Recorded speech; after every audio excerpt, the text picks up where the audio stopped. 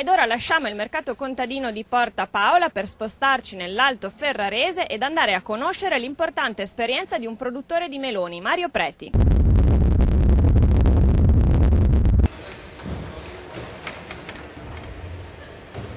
Siamo con Mario Preti, un'azienda ormai decennale, eh, fate meloni da quanto? Già da un paio di generazioni, quindi sicuramente una quarantina di anni ecco, che produciamo meloni e angurie. Quanti ettari avete? Sono intorno ai 90 ettari, metà angurie e metà meloni.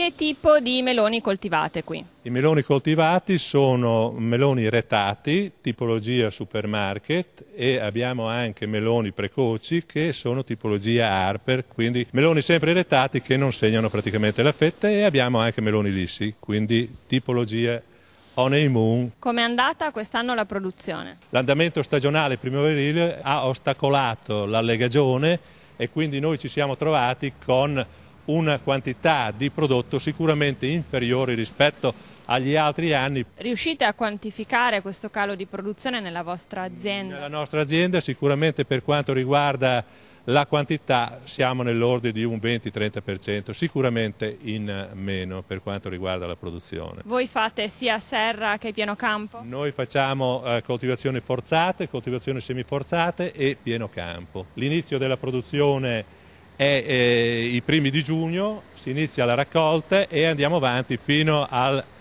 10 di ottobre. I prezzi come sono stati? I prezzi, se vogliamo, ecco, noi quest'anno ci siamo avvicinati sicuramente a quelli che sono i costi di produzione i costi di produzione che si aggirano intorno a 1 euro, 1,10 euro per quanto riguarda le coltivazioni forzate, intorno ai 50-60 centesimi per quanto riguarda le coltivazioni semiforzate e pieno campo. Voi quali fasi della filiera ricoprite nella vostra azienda? Noi riusciamo a coprire tutte le fasi della filiera produttiva, compreso eh, la parte iniziale della preparazione delle piantine e naturalmente anche eh, quello che riguarda il condizionamento, quindi eh, la lavorazione, la sistemazione dentro le cassette, persino il trasporto diciamo, viene fatto con mezzi propri della, dell'azienda, quindi fino alla destinazione finale. Ecco. Attualmente quali sono i vostri canali commerciali? La grande distribuzione, abbiamo anche i mercati generali all'interno dei quali abbiamo dei commissionari che vendono il prodotto per noi. Per quanto riguarda il confezionamento e il vostro marchio, come funziona? Ogni frutto che esce dalla nostra azienda è eh, bollinato, quindi viene messo un eh, bollino di riconoscimento quando chi mangia il melone eh, lo trova buono, il giorno dopo va dal fruttivendolo, va al, supermerc- al supermercato e richiede praticamente lo stesso prodotto.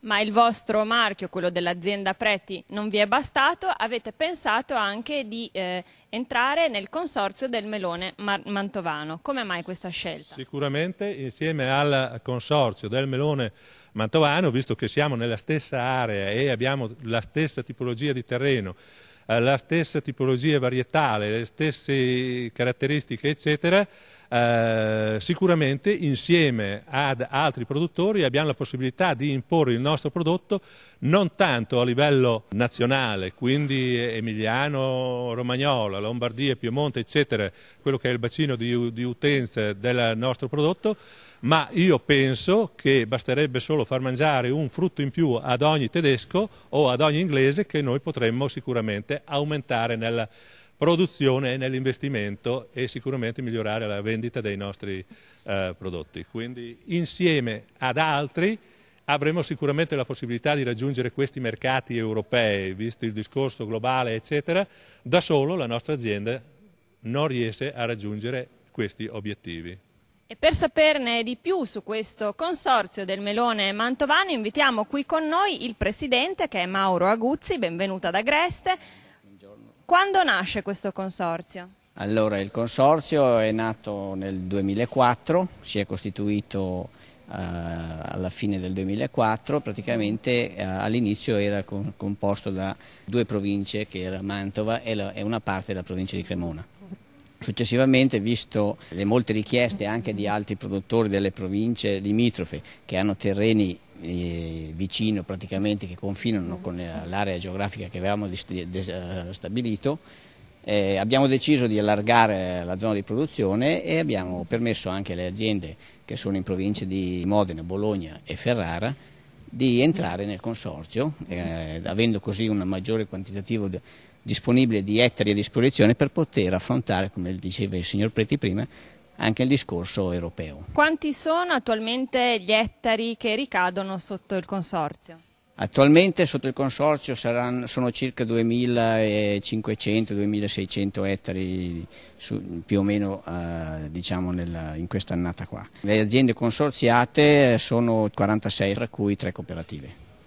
I comuni della provincia di Ferrara che aderiscono al consorzio quali sono? sono il comune di Bondeno, il comune di Cento e il comune di Sant'Agostino. Raggruppano 5-6 aziende eh, dei tre comuni di una discreta importanza, più le due cooperative che sono la Pofruit e la Grintesa. Quali sono le caratteristiche del melone mantovano che poi appunto comprende un areale un po' più ampio di Mantova? Il melone mantovano diciamo che si è imposto negli anni eh, per le sue caratteristiche qualitative.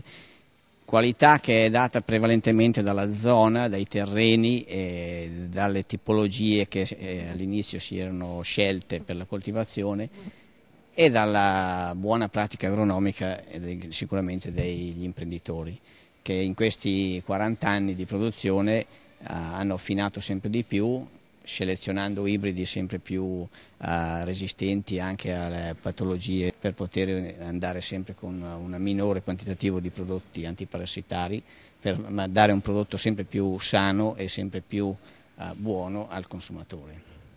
Quali sono le tipologie e le varietà di riferimento del melone mantovano? Abbiamo la tipologia cantalupo irretato con la fetta che è la tipologia di maggior coltivazione sicuramente del melone mantovano e anche a livello nazionale sicuramente il melone che è maggiormente coltivato in Italia. Poi abbiamo la tipologia liscia, che è tipologia Oneimun, che rappresenta circa un 25-30% del prodotto del melone che si coltiva e poi abbiamo la tipologia retata uh, senza la fetta, tipologia uh, Harper, che è il melone che diciamo che è il capostipite che si faceva in questa zona e che è praticamente quello che adesso si coltiva un po' di meno, però è quello che, uno, che ha dato le caratteristiche organolettiche ai suoi successori. Ci sono delle caratteristiche anche che deve avere, come il grado BRICS, il peso? Il melone per essere marchiato deve avere un minimo di 12 gradi BRICS eh, per avere il marchio IGP nel nostro disciplinare abbiamo stabilito alcune regole, tra cui questa, poi eh, i, i, frutti devono essere calibrati, devono essere puliti sani eh, come norme, una minima norma igienica e devono essere confezionati e lavorati nella zona di produzione. Quindi tutto deve avvenire nella zona di produzione eh, per poter garantire poi al consumatore un prodotto il più fresco possibile. Il marchio IGP esiste già? Allora, attualmente non esiste ancora, diciamo che c'è una richiesta al Ministero per ottenere l'IGP. E sicuramente entro la fine dell'anno avremo una pubblica audizione per avere la protezione transitoria del Ministero e dopodiché il Ministero porterà la domanda in comunità europea. Cosa ci guadagnano gli agricoltori a farne parte? Ma l'obiettivo principale è sicuramente quello di ottenere l'IGP e di dare con questo marchio sicuramente un valore aggiunto al prodotto, oltre che a valorizzare un territorio che negli anni si è distinto grazie anche a questo frutto che si è affermato in queste zone. L'IGP sicuramente è un mezzo che ti permetterà alle aziende tutte insieme di affrontare mercati esteri. Attraverso l'IGP questo può avvenire anche a, con le aziende più piccole. Quindi l'appuntamento è tra quanto? Tra un anno probabilmente? Ci auguriamo, almeno a livello ministeriale, che la prossima campagna sia positiva sotto il profilo della protezione transitoria. Dopo in comunità sicuramente ci vorranno ancora due anni. Nella migliore delle ipotesi nel 2012 avremo l'IGP europeo.